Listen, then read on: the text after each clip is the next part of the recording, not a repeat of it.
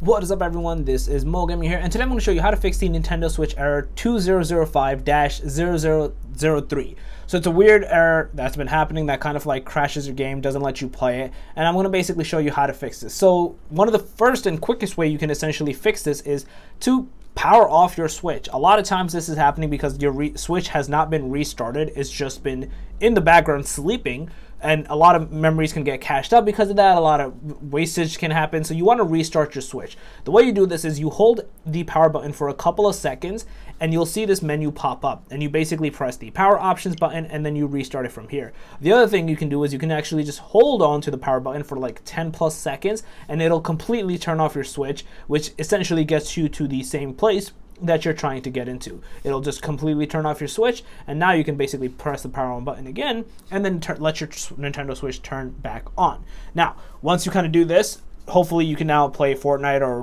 Mario or whatever and not get this error any longer, and hopefully that kind of resolves the issue. Now, aside from doing this, the other thing you can do is you want to actually go to your settings, and in here, you want to go into, let's see, system and you want to click into system update. You want to actually make sure your Nintendo Switch is the latest version update and hopefully it is and you can kind of just take it from there. Uh, if it's not, make sure to update your console and then you should be good to go. If worst comes to worst, for some whatever reason this doesn't work, you may have to initialize your console which is probably the worst case scenario and probably something you don't want to hear.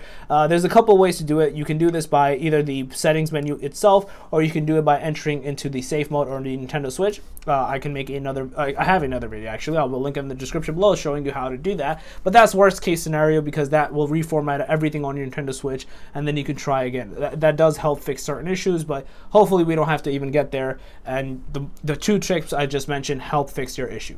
Uh, so yeah, that's basically it. If you guys overall like this video, please smash that like button, a lot. If you guys are new to the channel, make sure to subscribe and click that notification bell. Uh, and that, I'm out. Peace.